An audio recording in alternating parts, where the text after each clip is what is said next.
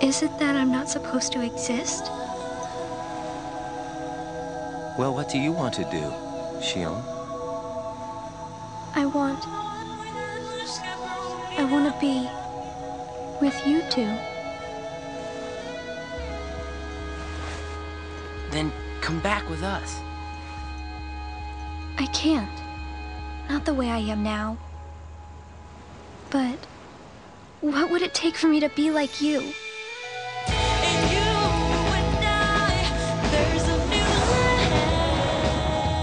Which would you rather suffer the loss of? Some make-believe friendship or a real one?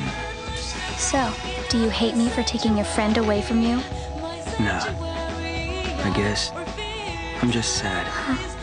Surely, you must have known that this was going to happen. Why would I know? no, wait! Yeah! Stop!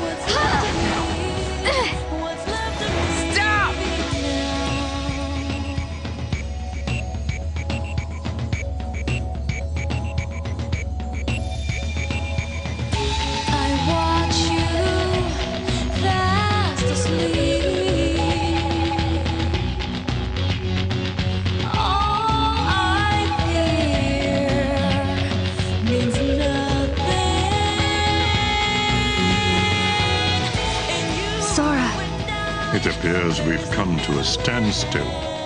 This has gone on long enough. Riku, I think you know what needs to be done. Right. Ah. you have poured so many memories into me, given me so much, that I feel like I'm about to overflow. Look at me, Roxas. Who do you see?